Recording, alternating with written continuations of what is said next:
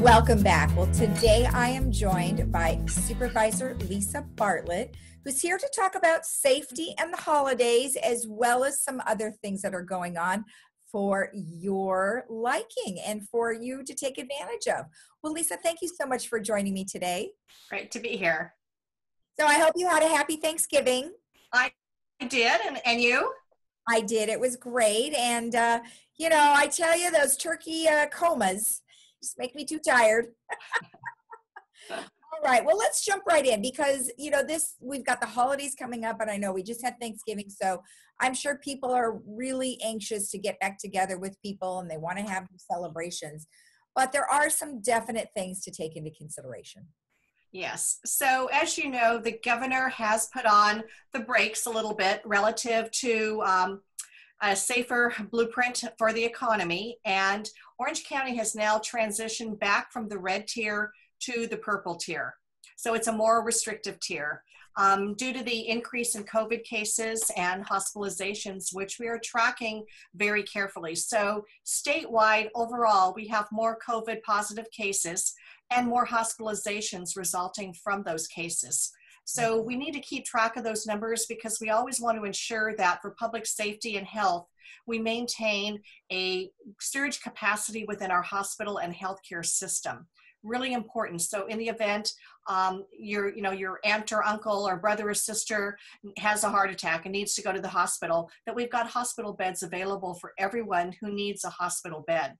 So we're monitoring things um, very carefully at the county level, and um, the governor and his staff are monitoring things at the state level. Orange County is doing extremely well relative to other counties. We still have a lot of hospital um, surge capacity and the ability to staff hospital beds. So we're doing very well as a county, but some of our surrounding counties aren't doing quite as well.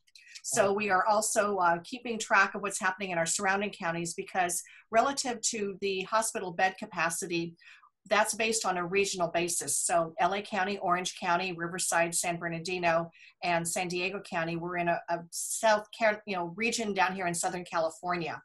Right. And um, we were doing so well for so many months. Um, we were in the red tier for almost two months consistently, whereas our surrounding counties were already in the purple tier. Um, I want to give significant credit to all of our residents and our businesses. They've done a tremendous job um, maintaining health and safety protocols, you know, wearing um, face coverings, social distancing, using hand sanitizer. The businesses, the restaurants and retail businesses that I've visited have done a marvelous job maintaining all of those health and safety protocols, which are so important right now.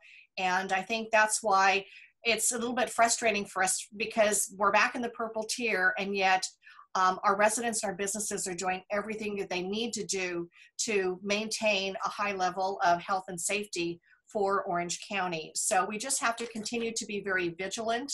Um, the Centers for Disease Control has issued some guidelines for holiday celebrations. Mm-hmm. So you can go to the website. Um, that's the cdc.gov website relative to coronavirus and take a look at those specific guidelines. But I just appreciate, as always, the residents in Laguna Woods doing such a, a great job of adhering to those guidelines. And that's why the COVID numbers are really low in, in Laguna Woods relative to some of the other Orange County cities. And just thank you for being so vigilant because it is making a difference. Yeah, I mean, they're frustrated, but they are getting the job done, like you said. Now, something that uh, you know, they're just coming off of celebrations uh, for Thanksgiving. And, you know, some people probably had multiple people there. And so there are concerns, I think, going forward as to how that's going to translate into the numbers that we're seeing so far with COVID-19, because that was the biggest fear is that everyone was, was going to get together and have a big gathering.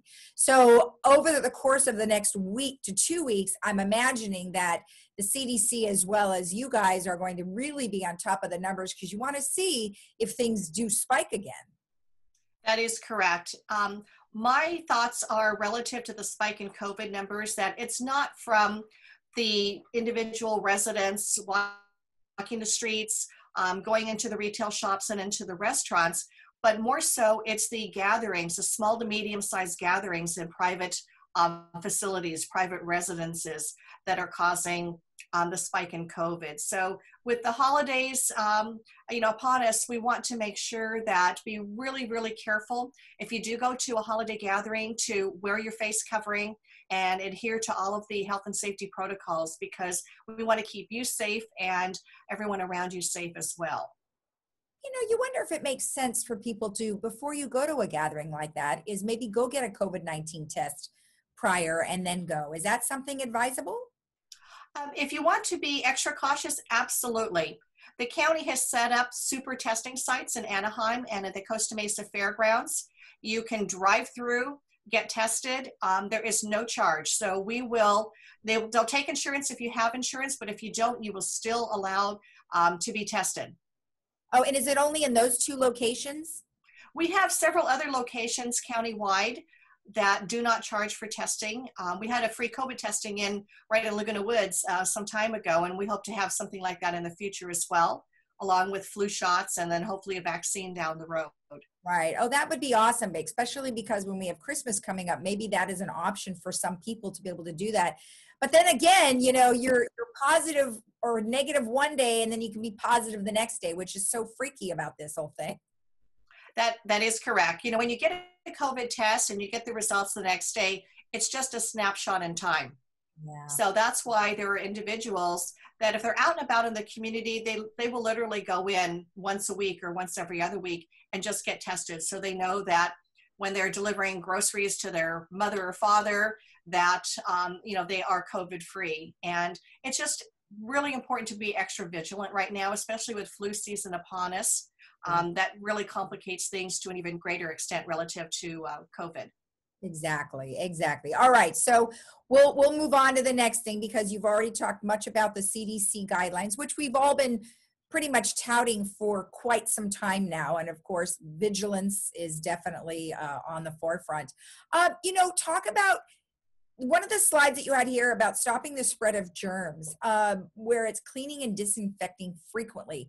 You know, at one point they said that that's not really where it's transferring is through touch points. It's more of a breathing and and face to face. Is that still the situation? I think we have to be extra cautious um, when we're out of our homes. So if you're going into a restaurant take your disinfectant wipes with you because the restaurants have done a great job cleaning, but you really want to make sure yourself that where you're seated, that area is clean. And so I take my hand sanitizer spray and disinfectant wipes literally everywhere I go, um, just to be extra safe. Could you imagine? I, I swear, I'd walk in with into a restaurant with my big old can of Lysol and just spray all. and in fact, um, you know, people traveling too on an airplane, if you do choose to do that, that is one thing for sure, because who knows how many areas that they have gotten with their sanitization. So for sure, I'm bringing all that Clorox wipes on the plane. That's one thing for sure. Um, okay, so after being in your home and isolated, uh, a lot of things are happening to many people, and it's not just our seniors. Um, we're talking about depression, anxiety, really tough stuff. What are some of the things that the county is doing to help that? We're doing a couple of things. We've established a mental health services hotline, which is 714 991 6412. And they can also call our COVID hotline, which is 714 834 2000 we want to make sure that everybody has access during this time of year where it gets dark early and they may, maybe they haven't gone out in weeks. Um, we don't want people to feel pressure and feel uncomfortable um, in their home environments and getting stressed. Um, so we want to make sure they've got access to hotlines. They can call, talk to a live person at the other end of the phone who can help them in a number of ways. So, you know, don't be afraid to pick up the phone if you're feeling a little bit anxious or you're feeling stressed. Um, we also have, for those that are getting very stressed, we have uh, established at the county level an Office of Suicide Prevention. And we want to make sure that for for people that are hitting that wall where they just don't know where to turn, that they've got access at the county with services that we can deploy, you know, immediately for them. We want to make sure everyone has got that that safety net right now because it's so important um, right now with so many different things going on. We don't want people to get stressed and and do something that um, you know they shouldn't do. Well, yes. And then when the flip flopping happens too, it makes it even more frustrating because here you're thinking you're seeing it light at the end of the tunnel and oh, wait, wait, wait, no, we're not. And then that can be super frustrating, I'm sure, because you get your hopes up and then you, you know, then they get squashed. So great stuff. I'm glad you guys were able to put that together. Now, the nutritional gap program is still going on and you um, you have they have availability still. Do, do they, are they just going to do that until they run out or they just keep making more food? The Nutrition Gap program, which is available to seniors 55 and over, is a program that will be in place until the end of December.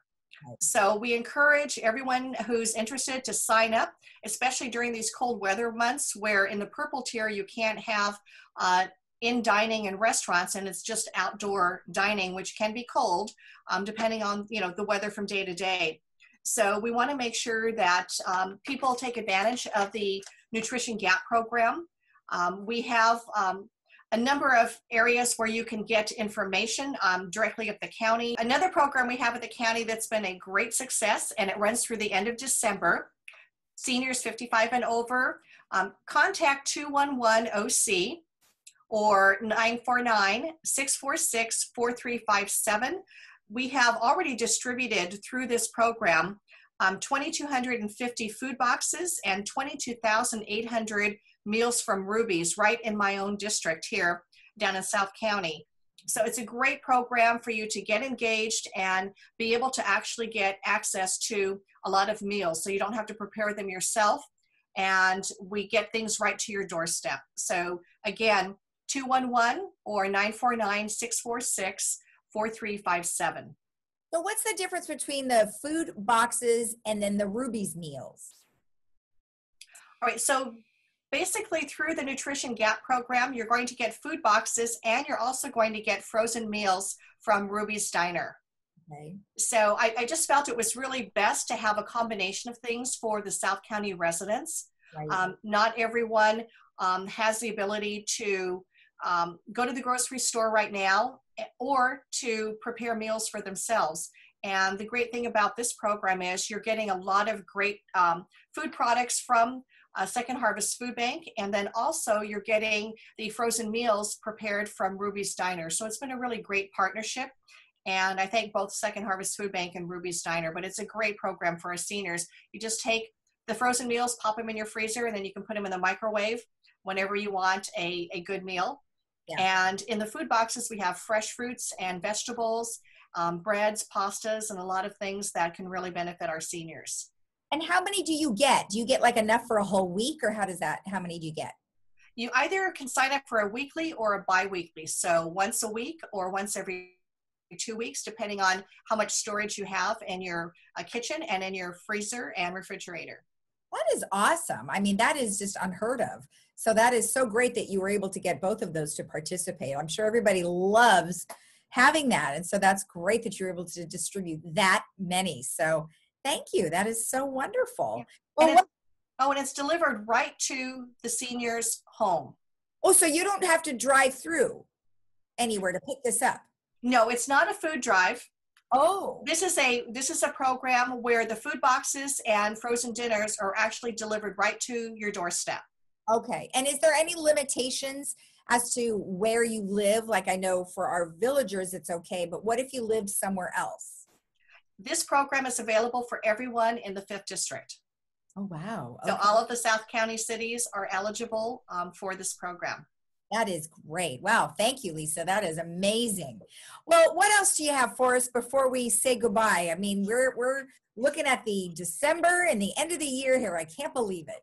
One program that we've actually started, especially because we're moving back to the purple tier, is the outdoor dining grant program. Okay. So a lot of the restaurants, as you know, they want to stay in business and they want to maintain health and safety protocols for their diners. And so we established a grant program where they can get access to funds and it's to buy sanitation supplies, um, personal protective equipment, you know, the face coverings um, for their workers.